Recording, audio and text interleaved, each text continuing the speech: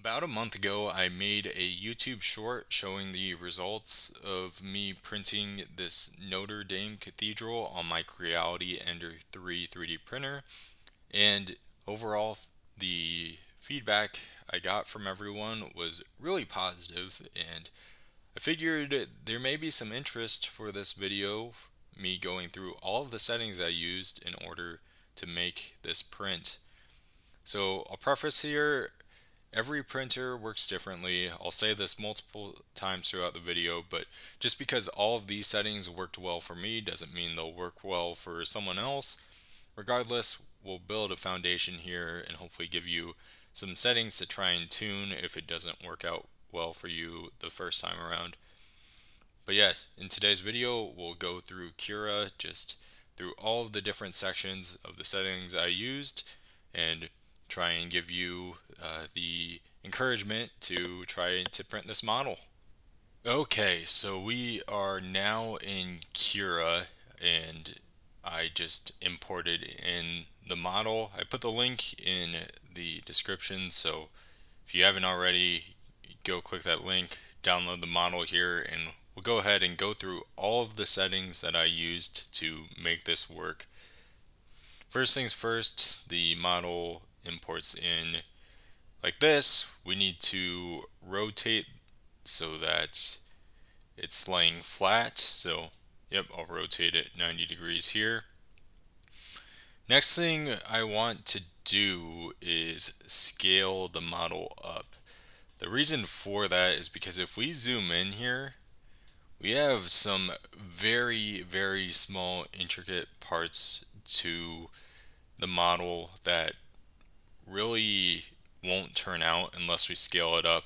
To be honest, these pieces right here might not turn out, but if we go to the front as well, just some of these pillars and everything, we need to scale it up just a little bit to ensure that the nozzle is big enough or can make that fine detail.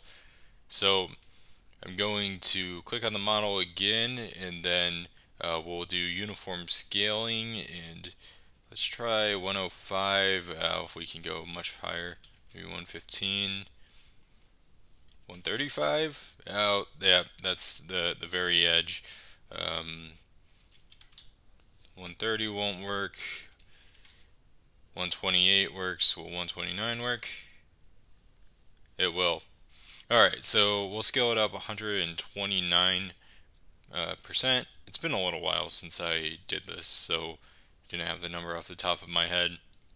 For some of you, this may not work. You may be getting um, this, it's not an error, but just it's saying that you can't um, scale it up that much, and it, it has um, the, the gray and yellow uh, stripes. So the reason for that is because of the brim or the raft or whatever. So quickly, if you go to the settings and usually I just type in brim and then press enter.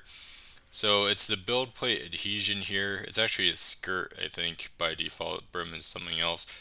But set that to none. We don't need any of that. And from there, we'll be able to use the entire build plate rather than having that uh, skirt put around the model that's just really wasting plastic. So we don't need that. From there, you should be able to scale the model to 129%, the original amount, and then we we give a little bit more volume here in again some of these pillars to give us our best chance to have them turn out. Also, some of the these here we're not using any supports for this. There will be no supports that we need to use as long as the settings are dialed in, the printer's dialed in. Um, so yeah, having a little bit more volume in uh, these overhangs here will help us out. I should preface by saying every printer works differently, so you may be able to use these settings I'm showing you as a starting point, but just because of how two different printers operate, you may need to change some things.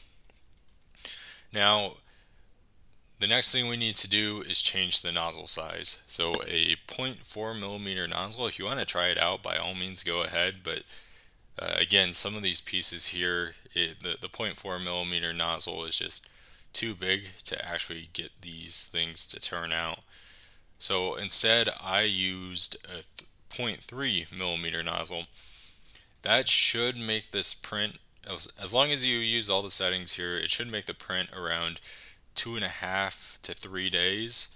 Um, by all means, you can go ahead and try a 0.2 millimeter nozzle, but that means it will be a, a full week roughly. I tried generating the, the G code, and yeah, it's about a full week worth of printing. So I'd rather trade off some of the detail by actually getting a model a little bit faster. Um, what we'll do is go to the settings and then extruder nozzle size click on 0.3 and we're going to keep the changes here it says the the build plate adhesion um, no we'll just keep that and after you generate this G code if you go back to a 0.4 millimeter nozzle make sure to change this or else um, some things will not turn out too well for your future prints so yeah, now I think we're ready to go through all the settings and I'm just going to open this up here and we'll go from top to bottom. I'll try and give as much as I can and um, hopefully everything ends up working out for you and you can make a, a cool Notre Dame. So we'll start with quality. Um, 0.2 layer height, initial layer 0.2, line width 0.3, wall 0.3, outer 0.3, inner 0.3, top and bottom line width 0.3, inf uh, yeah, infill line width 0.3, and um, initial layer 100%. It's everything in the quality. We'll go to shell next. Uh, wall thickness 0.6. This won't need to change. Wall line count 4. Um, then 0, 0 top surface skin layers. Top bottom thickness 0.8 top thickness 0.8, top layer is 4, bottom thickness 0.8, um, bottom layer is 4, top bottom pattern are lines, bottom pattern initial layer lines, and then um, we'll optimize wall printing order. Uh, so this will uh, print from the inside out, I believe is what it does. So make sure to have that checked. And then compensate wall overlaps. I had that checked. Uh, inner wall overlaps checked. Checked. Fill gaps between walls. We'll do that everywhere. Uh, this is just where um, things may not fit. Uh, horizontal expansion zero, um, zero for the next one. Z seam alignment uh, is a user specified, and then Z seam X is 117.5, Z seam Y 235. Uh, seam corner preference, smart hiding. Uh, that's the, the setting for that one. Um, extra skin wall count is set to 1. Skin overlap percentage 10%. Skin overlap 0.03. For the really critical stuff, I'll try and explain what the setting is, but for this other stuff, like what I just did for the shell, aside from like the uh, wall line count and, and um, top and bottom layers. Um, I'll just go through what the setting is and not go into too much detail just in the, the um, sense of time. Infill density, uh, 15%. You could make this 100% infill. 15% is just fine. It will save us some plastic, uh, save us some PLA because we really just want the outside of this model to look good. Internally, I really couldn't care what it looks like. Um, Infill line distance 6 millimeters, infill pattern cubic. You could really use any infill pattern. Cubic worked for me, so you want to do the exact setting I used, use that. Uh, X offset for infill 0, uh, infill Y offset 0. Infill line multiplier 1, uh, the overlap percentage 30%. Infill overlap 0.09, uh, infill wipe distance 0, infill layer thickness 0.2 and 0 um, 0 for minimum infill area. Skin removal width, 1.2, and then it's 1.2 all the way down to the uh, bottom skin expand distance. Maximal skin or maximum skin angle for expansion 90 degrees, and then 0 for minimum skin width for expansion. That's infill uh, material, 200 degrees Celsius printing temperature. This is for PLA, and I used eSun PLA plus cool white um, for the color. And then the build plate temperature, 50 degrees Celsius. The flow is 100%, and then that's 100% all the way down from flow all the way to the initial layer of flow. Got through material pretty quick. Speed, this is going to be one of the more critical pieces. 50 millimeters per second, that worked for me, so that's what I used. Um, infill speed will be the same, uh, 50 millimeters per second. Wall speed, half that, 25 millimeters per second, and that's for the outer and inner wall as well, as well as the top and bottom speed. Travel speed, so this is the speed moving uh, maybe, for example, from one of these pillars to the next pillar, uh, speed it up a little bit there with 150 millimeters per second. Initial layer speed, slow things down at 20 millimeters per second, get a nice strong initial layer. Um, and then, yeah, the print speed 20, and then initial layer travel speed 100 millimeters per second. Number of slower layers, uh, that will be set to 2, and then everything else below here is unchecked. Uh, travel, we need to enable retraction. This is big. Um, so having retraction enabled because we have a lot of areas where the nozzle is going to be traveling to some uh, pieces that are just hanging out in space. If retraction is not enabled, we are going to have a mess of those little lines in between the layers um, that we need to clean up. And if you're fine with that, then by all means, go ahead. But uh, if you have retraction enabled, you kind of save yourself a little bit uh, with the post-print cleanup. Retraction distance 7 millimeters, retraction speed 45 millimeters per second. Um, and then let's see, retraction minimum travel 1.5 millimeters, maximum retraction count 100, uh, minimum extrusion distance window 10. Then that's off. Retract before outer wall is checked.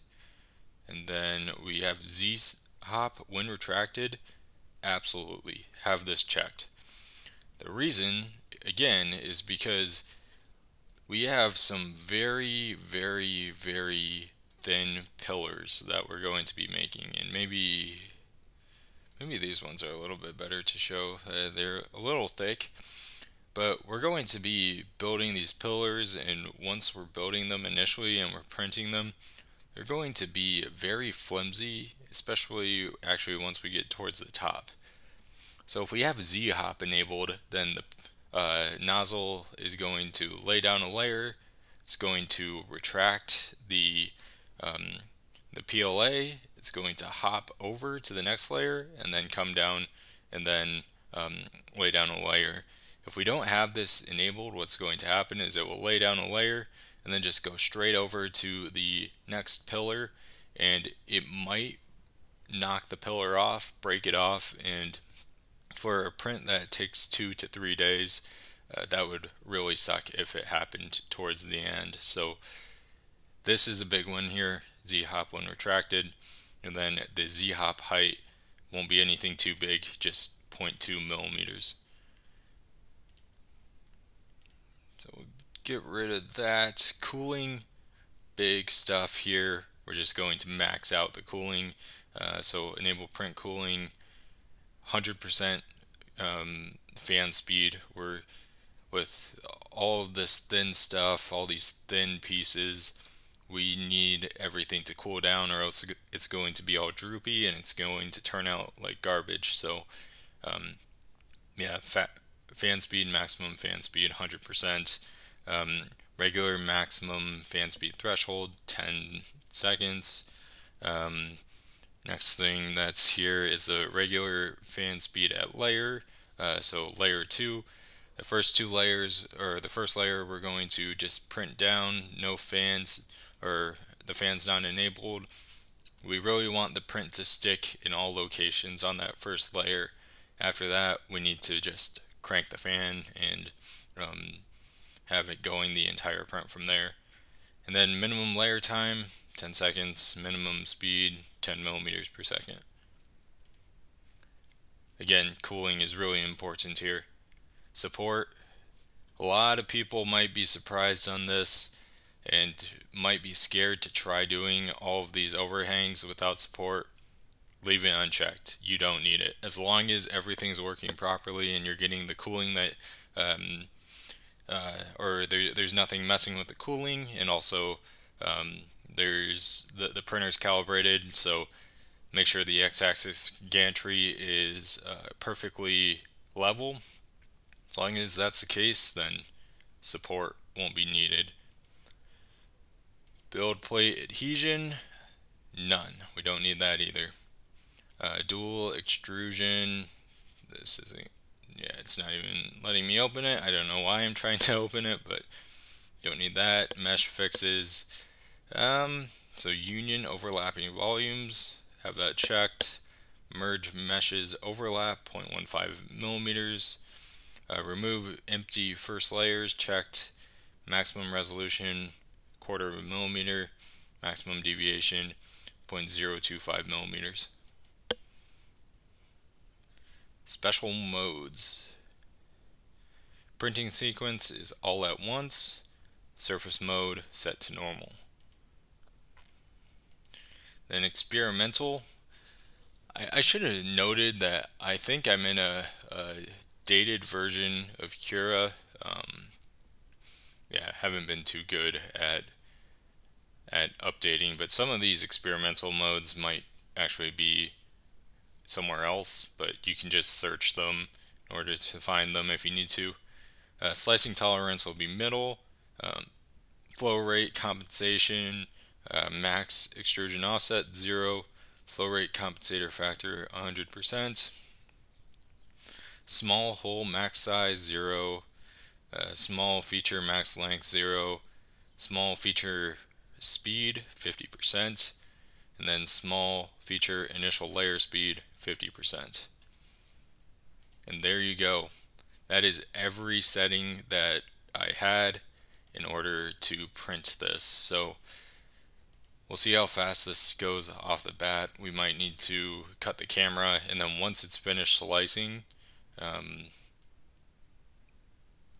we might come back. I always get a little excited with how fast it slices off the bat and then there's a point where it will stall. So yeah, we'll cut the camera and then once the file is sliced, come back and take a look. Alright, file is sliced here in the lower right hand corner. We can see the estimated time is 2 days, 17 hours, 43 minutes. This can fluctuate a little bit.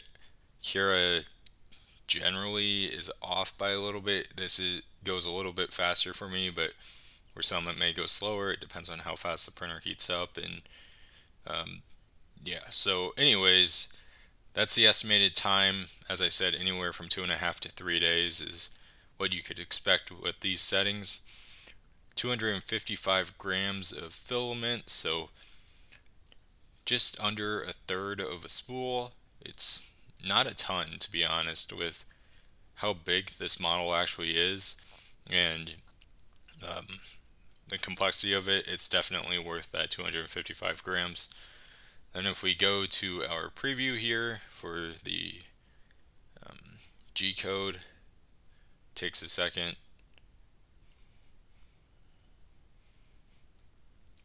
And it might be hard to see but if we go down 677 layers tall.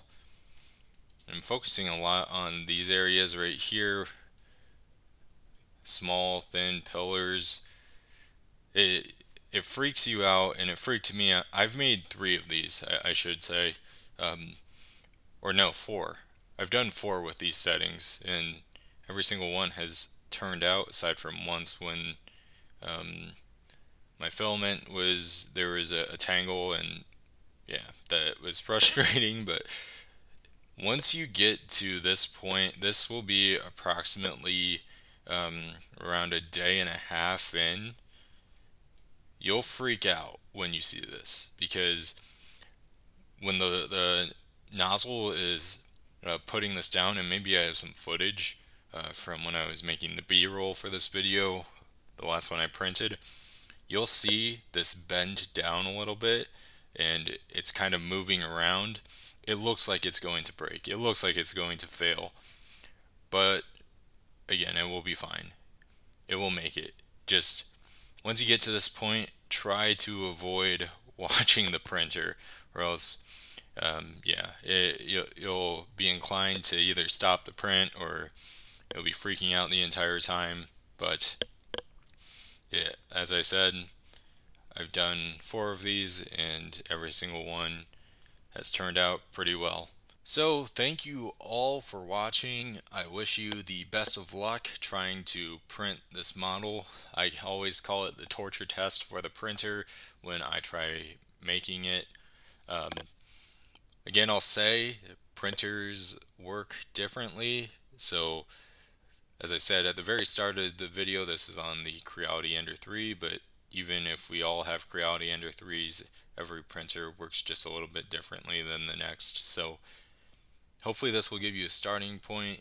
If you fail off the bat, don't get too discouraged. Just try playing around with some of the key settings we went over in this video and you can make it work. I look forward to hearing how everything turns out for everyone who ends up trying this and make sure to leave a comment on this video letting me know how it went. So, hope you all enjoyed and I will see you on my next video.